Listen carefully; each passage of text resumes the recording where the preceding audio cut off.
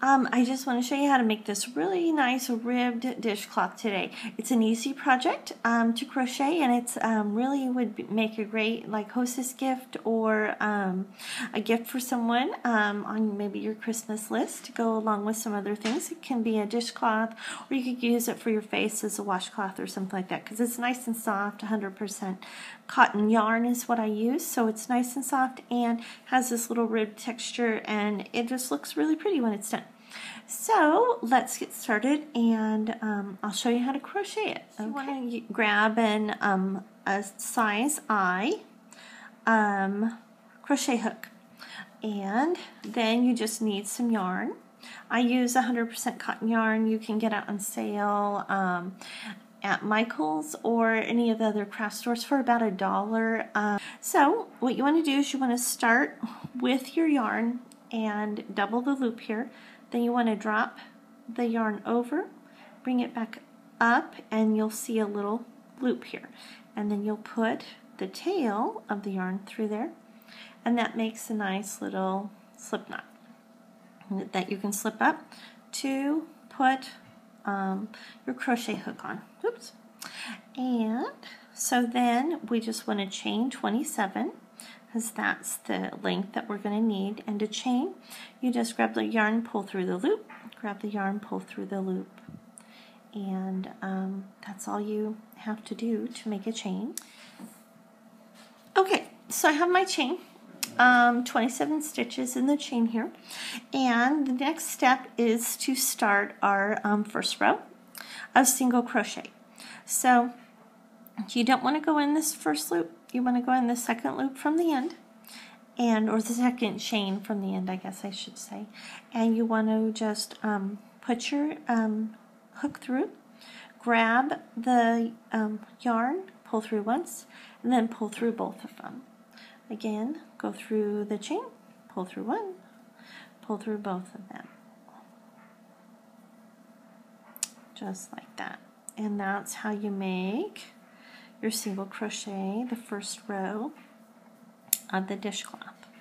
And this is really, really easy pattern, um, and that's what it will start to look like as you're working. So let me go all the way to the end here and show you what it looks like after the first row is complete. So we have our first row of single crochet all done. This is what it looks like. And so we're at the end and now we need to turn. So once you get to the end, you'll need to chain one and then turn to go back. And we're going to start making the little ribbed pattern here. Um, and you just need to go through the back loop only to um, get that ribbed ribbing to show up. So you after you've done your chain and you have turned, then what you want to do is you want to look at the top of the um, stitch here. And as you can see on the top, there are these little V's for each stitch. So we will go into the first single crochet and you don't want to go straight through here like you normally would, not under both of them, but you want to only go through the back um, the back loop there. So you see you only have the one loop on there and you pull through once and then you pull through the last two. Let me show you that again. There's the V, the front, which is towards me, and the back, which is away from me. Go through just that back loop, grab your yarn, pull through, and then grab your yarn again and pull through again. And so we just keep doing that all the way to the end. Go through the back loop, pull through one, and then pull through two. And the main thing is to remember to go through just the back portion of this upper V. Split it right in the middle and go through the back. And that is what is going to make your ribbing there. So, and as you can see, there's like this little ribbing that's starting on this side. And then on the other side, there's like a little ditch. So that's what's going to give you the, um, I guess not ribbing, but ridge. There's a little ridge that's forming on this side, and then on the other side there's a little ditch. and that's what's going to give the texture to the um, to the washcloth here or dishcloth whichever you're making so you want to just continue on to the end and once you get to the end you should have 26 stitches and um, we'll do a turn. So I'll be right back to show you that. Okay. So we want to chain one stitch and then we're going to turn our work. And again for the third row and every row after this all you need to do is go into the back of the stitch and do a single crochet.